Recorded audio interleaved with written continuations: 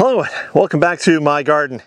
And right now, the dahlia bed, or the dahlia, yeah, the dahlia bed, the dahlia area here, is much neglected. When I did my post Debbie walk around, I think I did a post Debbie walk around, yeah. I said I needed to come in here and do some tidying up and cleaning up. But the first priority for me was start getting the lawn back under control because the grass was getting up to two foot tall in some spots. It was basically out of control. I still have to do finish work over in the rose garden and I have to do work over in the vegetable garden, but they'll be for later today. But my dahlia bed has become very neglected and very much a, a, a mess, a disaster as it were.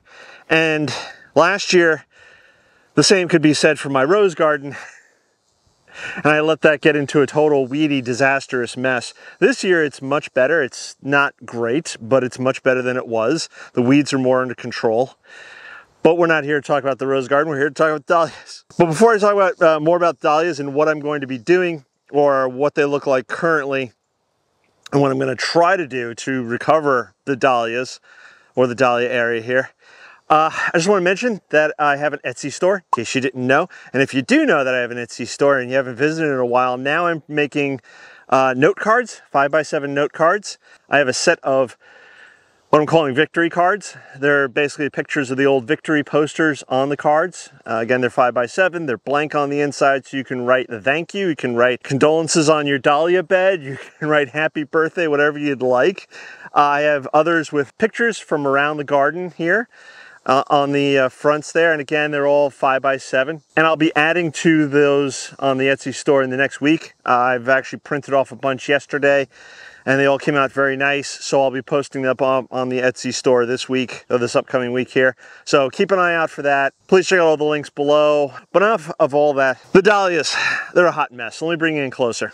All right, I'm gonna start with the verbenas. They look all right. Uh, they always look a little dry and a little ratty. Thinking about cutting them back really hard and maybe they'll reflush for the fall. Although a lot of the flower heads look like they've gone to seed.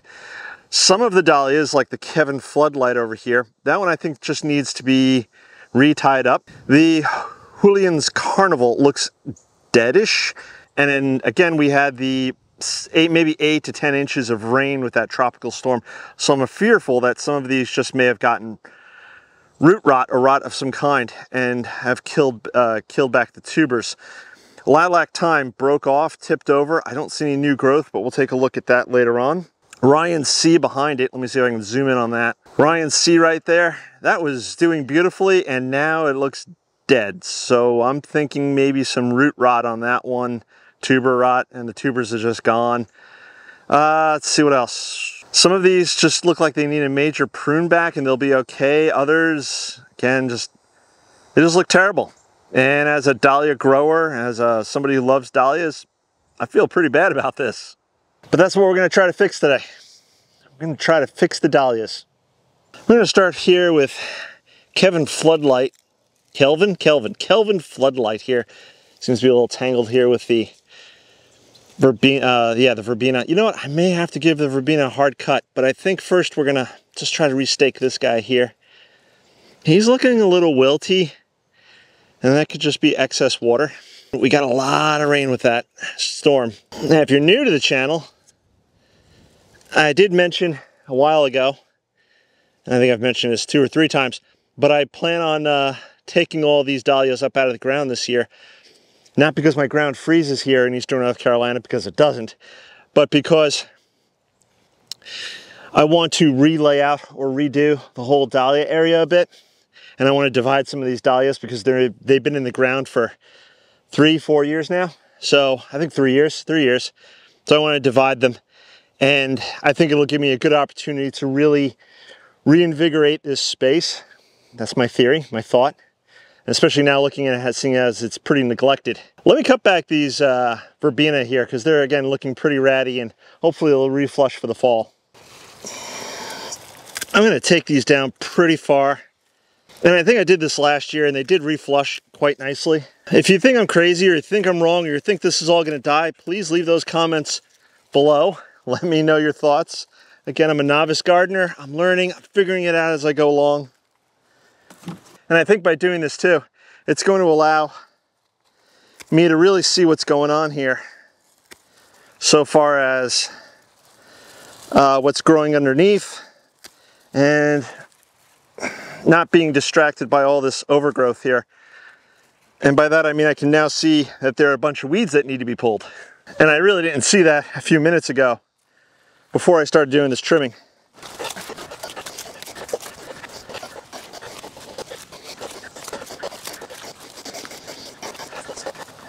See, I didn't notice this grass a minute ago growing here in the bed, so it's a good thing that I did cut this back.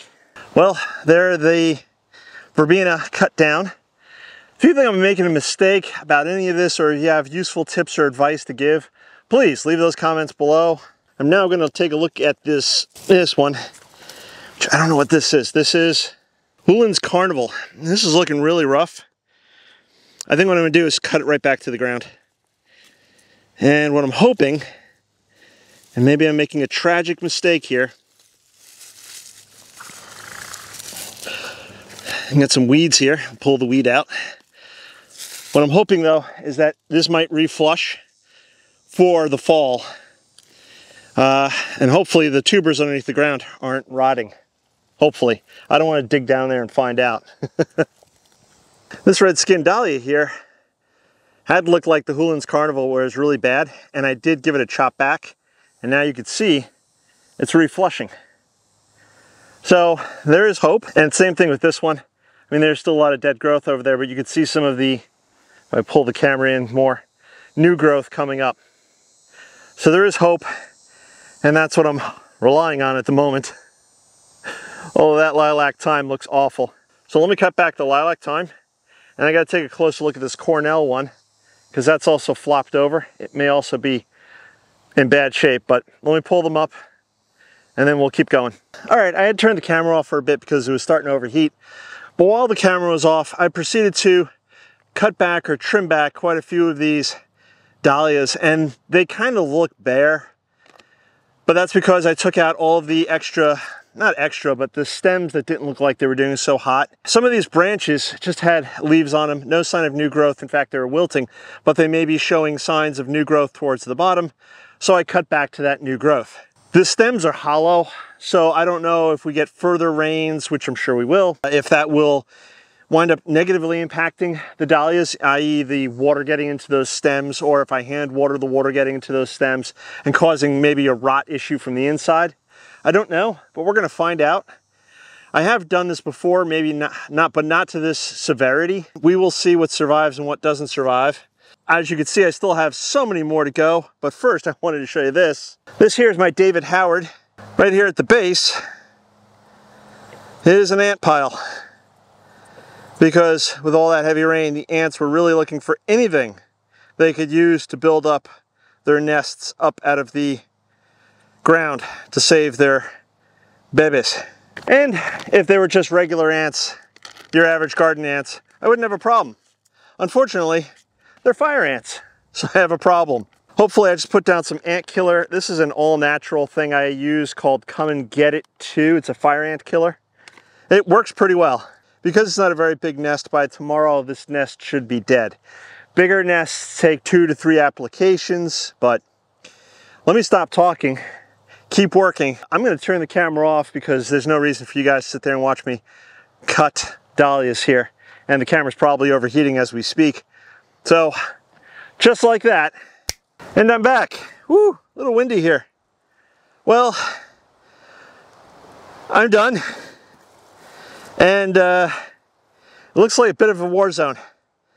Let me bring you guys in a little closer to show you. So hopefully as you guys can see here, yeah, I did a lot of cutting, a lot of trimming, a lot of, not even deadheading, just pulling out branches that just, some of these have gotten so overgrown.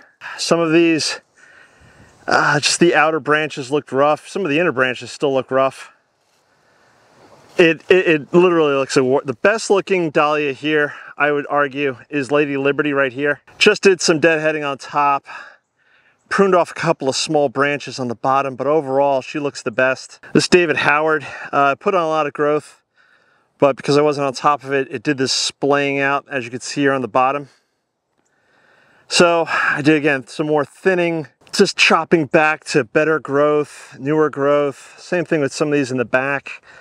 Now it looks like I have lost quite a few dahlias this year. I have no idea what was in the middle over here. Pretty Woman Dark Angel. So it, uh, yeah, it, it looked pretty much dead, but again, the tubers may be okay and it may push up new growth. May. I mean, it, it does, I'm not gonna lie to you, this looks bad. It, this looks real bad, but I'm hopeful that by taking this action, and I still might come back through and do a little more pruning, which I know is some of you may be screaming no right now. Don't you do it! Don't! Just utterly horrified at what I've done here. This is what we're left with. And, and, and this is all my fault. This is really all my fault. I take full responsibility for this. I am the head gardener. I really neglected these dahlias this year. Uh, I couldn't do anything about the rain or the ground saturation, but this is this is what we're left with. so I, I have to laugh because otherwise I cry. There's hope. There's promise, like this new growth pushing up. And here's some more on Fleur. New growth pushing in. So I'm not giving up, and I don't think the plants are giving up. And yes, I may have lost some dahlias, but I'm hopeful that come the fall when I dig these guys up, that I can either divide them then or I can divide in the spring, one of the two, but I can get many dahlias out of what's left here and I can refill this space for next year. More experienced gardeners out there, let me know your thoughts, your feelings. Give me your own two cents. This is a pretty big disaster. This is the worst I've ever had it with my dahlias, but again, this is all my fault. I neglected, I didn't stay on top of things. I still have some cleanup to do in here. I still have some weeding to do in here. I'm not gonna bore you guys anymore with that. I try not to bore you guys too much. so hopefully, maybe, possibly, I will get another spurt of flowers come the fall. And that will just be really, that, that'll just give me a little morale boost, if anything, that I hadn't, I haven't totally destroyed my dahlias. If you think I've totally destroyed my dahlias, please leave those comments below. Tell me they'll never recover. Tell me I just just hang it all up, just rip them all out, or, you know, maybe a couple encouraging words. Or if you've been through something similar, leave those comments below.